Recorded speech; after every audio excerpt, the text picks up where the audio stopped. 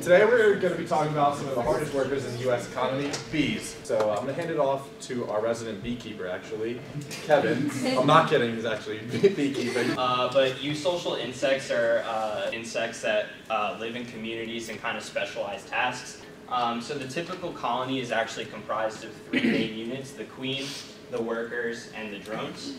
The eusocial order, so you've got a whole bunch of worker bees crowded around the queen, and they're pretty much there to give her her every need. You can definitely just see a distinct circle around the queen. Himalayan honeybees. So these honeybees are the largest bees in the world, and these hives can get up to five feet in diameter. And the average, which would probably be about 135, 140 pounds of honey, American uh, beekeeping hive would maybe yield 25 to 50 pounds. And this honey has hallucinogenic properties. The honey sells for four times the price. So colony collapse disorder is the main reason why bee populations have been declining. The bees will leave the hive and never come back. And some of the reasons are, one, global warming. Flowers are now blooming like sooner or later than they used to in the past. Pesticide use is a big reason as well. Habitat loss. It's just less places for bees to uh, do these hives and reproduce and go out and pollinate. Bees are responsible for about 35% of global food production. And this has caused a, uh, the world economy as a whole to lose about $5.7 billion a year from lower crop yields and higher production costs. So in the US, there's been about 10 million hives that have been lost, $200 per hive.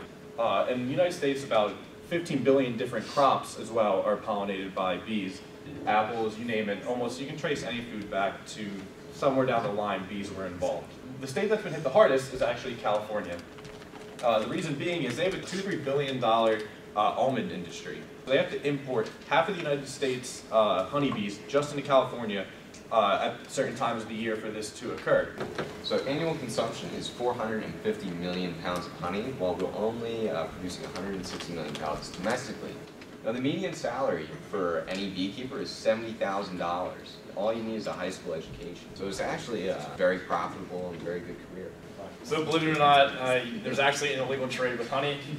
And it's mainly all focused around Chinese honey, mainly because Chinese honey is illegal in the United States, it's actually been banned. Basically China is the top supplier of the US mainly because it's extremely cheap. They use inferior inputs, there's a high demand for it. US honey packers, they love it because it's so cheap and they'd rather buy it abroad than they would domestically. Now, this has become such a problem that the United States government actually started to subsidize the, uh, uh, the domestic firms that actually produce honey. It actually got so bad to the point where they actually uh, submitted tons of lawsuits against Chinese producers, uh, basically claiming that they were dumping their product in the United States. Why exactly is Chinese honey illegal? It's illegal because uh, they have antibiotics in it that aren't allowed approved by the FDA for human consumption. And ever since then, it's been illegal. But the demand hasn't gone away. See, honey packers still want this because it's extremely cheap. And the easiest way to do it is ghost labeling. so basically what that is, you ship it to a country like India, and all they do is they buy it off China, and they slap their label on it. You don't even have to even have a single bee. Honey, honey bee colony death rates almost double what it should be. The National Pollinator Health Strategy to restore honeybee colony levels, sustainable levels, uh, restore and enhance up to 7 million acres of land for pollinators. Um, so it's going to cost about $50 million a year. It's kind of seen as like a canary in the coal mine. Does that serve as some kind of indicator for uh, possible uh, harms to the ecosystem later on? One quote that I have is that the science is clear, the species is headed toward extinction, and soon. There is no legitimate reason to delay federal protections for bees. Freezing protections for without public notice and comment flies in the face of the democratic process. If we don't have any bees left because they're dying at such high rates, I looked kind of into the future of bees, the very cleverly named Plan B, and then the Robo Bee.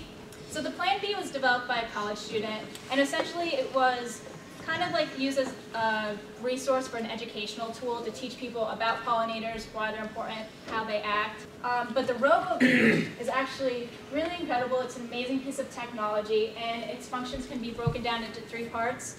Its body, its brain, and its colony. Half the size of a paperclip, it weighs about a tenth of a gram, and it's totally autonomous. So it has sensors that acts as like the eyes and antennas, just like a bee would, so it can react uh, according to its environment.